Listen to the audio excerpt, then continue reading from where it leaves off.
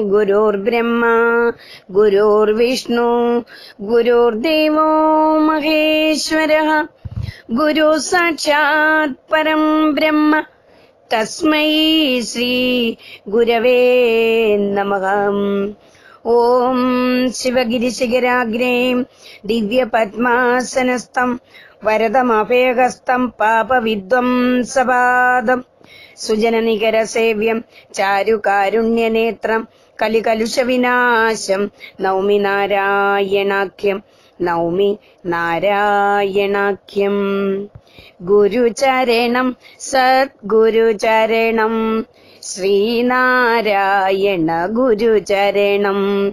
ഗുരുചരണം ഭവഭയഹരണം. ശ്രീനാരായണ ഗുരുചരണം. ഗുരുചരണം സദ്ഗുരുചരണം.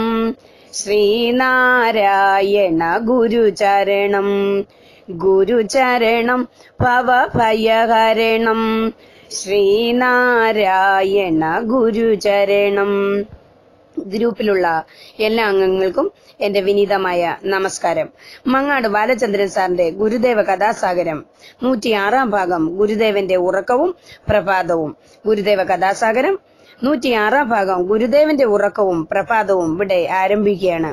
ശിവഗിരിയിൽ ആദ്യകാലത്തുണ്ടായിരുന്ന പണ്ണശാല ഓല കെട്ടി മേഞ്ഞതും ഒരു മുറി മാത്രമുള്ളതുമായിരുന്നു. അവിടെ അവിടെയാണ് ഗുരുദേവൻ രാത്രികാലത്ത് ഉറങ്ങിയിരുന്നത്. ഗുരുദേവൻ കിടന്നു കഴിഞ്ഞാൽ ഗുരുദാസനോ പിൽക്കാലത്ത് മാധവാനന്ദ സ്വാമിയായി തീർന്ന മന്നാനത്തു മാധവനോ ആയിരുന്നു വീശിക്കൊടുത്തിരുന്നത്. കുറെ നേരം വീശിക്കഴിയുമ്പോൾ തൃപ്പാദങ്ങൾ മതിയെന്ന് കൽപ്പിക്കുമായിരുന്നു. അപ്പോൾ റാന്തലിന്റെ തിരി കിടത്തിയ ശേഷം വീശിക്കൊണ്ടിരുന്നയാൾ പുറത്തിറങ്ങിയിട്ട് പർണശാലയുടെ കഥകടയ്ക്കുകയായിരുന്നു. പതിവ്. നിത്യവും വെളുപ്പിന് മൂന്നര മണിയോടെ ഗുരുദേവൻ ഉണരുമായിരുന്നു. എഴുന്നേറ്റാൽ ആദ്യം റാന്തലിന്റെ തിരി കൊളുത്തി താഴ്ത്തി വയ്ക്കും.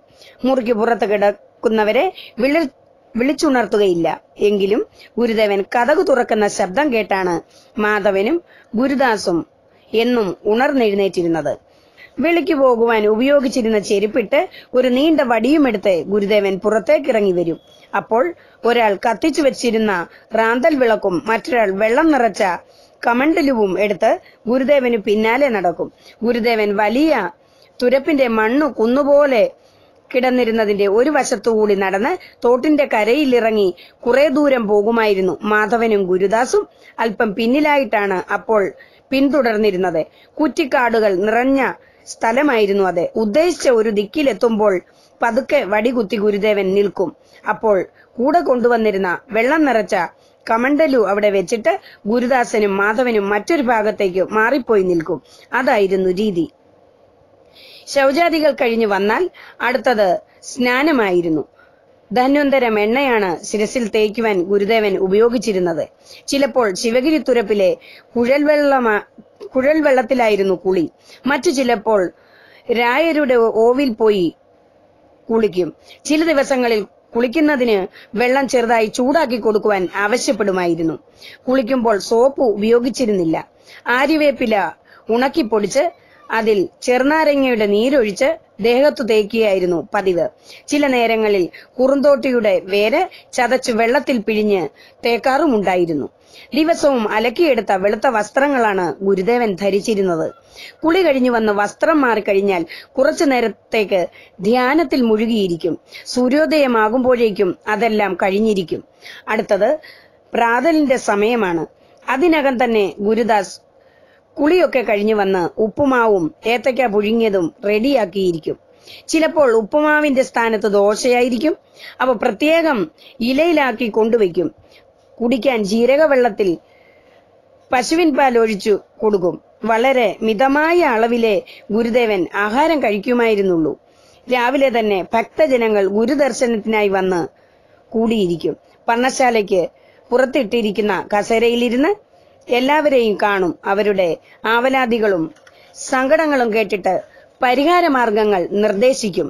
രോഗശമ ശമനത്തിനായിട്ട് രോഗശമനത്തിനായിട്ടാണ് വരുന്നതെങ്കിൽ മരുന്നും അവ സേവിക്കേണ്ട വിധവും ഉപദേശിക്കും. അവർ കൊണ്ടുവരുന്ന കാഴ്ചദ്രവ്യങ്ങൾ എല്ലാവർക്കുമായി പങ്കിട്ടു കൊടുക്കും ഗുരുദേവനെ സന്ദർശിക്കുന്നവർക്കെല്ലാം വലിയ ശാന്തിയും സമാധാനവും അനുഭവപ്പെടുമായിരുന്നു. മാത്രമല്ല പ്രത്യാശയും ഉത്സാഹവും കൊണ്ട് അവരിലെല്ലാം ഒരു പരിവർത്തനം ഉണ്ടാവുകയും ചെയ്യുമായിരുന്നു. ഓം. ഗുരുദേവ കഥാസാഗരം നൂറ്റിയാറാം ഭാഗം ഇവിടെ സമാപിച്ചിരിക്കുകയാണ്. ഇതിൽ വന്നിട്ടുള്ള തെറ്റുകൾ സദയം ക്ഷമിക്കുക. ഗുരുവിൻ കാലിൽ വീഴാതാർക്കും പരിതാപാഗ്നി ശമിക്കില്ല. നിത്യം ഗുരുവെ വണങ്ങാതാർക്കും നിർവാണ സുഖം കിട്ടില്ല. സംഘം മുഴുവനുപേക്ഷിക്കാതെ സംസാരാഗ്നി കെടുകില്ല ഉള്ളിലസൂയയൊഴിഞ്ഞിടാതെ ഭഗവാൻ നേരിൽ വരുകില്ല. സംഘം മുഴുവനുപേക്ഷിക്കാതെ സംസാരാഗ്നി കെടുകില്ല ഉള്ളിലസൂയയൊഴിഞ്ഞിടാതെ ഭഗവാൻ നേരിൽ വരുകില്ല. ഗുരുവിൻ കാലിൽ വീഴാതാർക്കും പരിതാപാഗ്നി ശമിക്കില്ല. നിത്യം ഗുരുവെ വണങ്ങാതാർക്കും നിർവാണ സുഖം കിട്ടില്ല. നിർവാണ സുഖം കിട്ടില്ല. ഓം ശിവഗിരി ശിഖരാഗ്രേ. ദിവ്യപത്മാസനസ്ഥം പരതമഭയഹസ്തം പാപവിധ്വംസപാദം സുജന നികരസേവ്യം ചാരുകാരുണ്യനേത്രം കലികലുഷവിനാശം നൗമി നാരായണാക്യം. നൗമി നാരായണാക്യം. ഗുരുദേവ കഥാസാഗരം ഇവിടെ സമാപിച്ചിരിക്കുകയാണ്. അടുത്ത ഭാഗമായി വീണ്ടും നാളെ എത്തുമ്പോഴേക്കും എല്ലാവർക്കും നന്ദി നമസ്കാരം. സ്നേഹപൂർവം ഗീതാ ഹരിദാസ് സൂറത്ത്.